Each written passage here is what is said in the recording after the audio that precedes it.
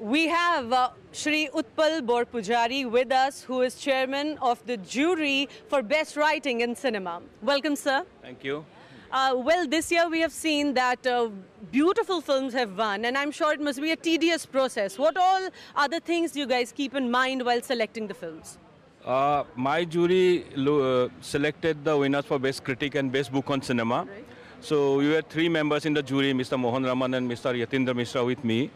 And we had a collection of uh, write-ups from various critics from all across the country and also a large number of books.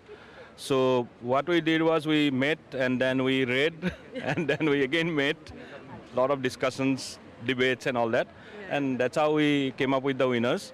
And I must uh, say that the winners, the winning entries are quite interesting. And a lot of other entries were also very interesting, but since it's a competition, you can choose only one winner. Yes, yes. So, but we have winners from Kerala, from Bombay, uh, from Delhi. So it's a pan-India winners list this year. Well, can say. thank you very much. I'm sure it's a tough task, but uh, we have got some beautiful winners who have won this year. Thank you. Thank you.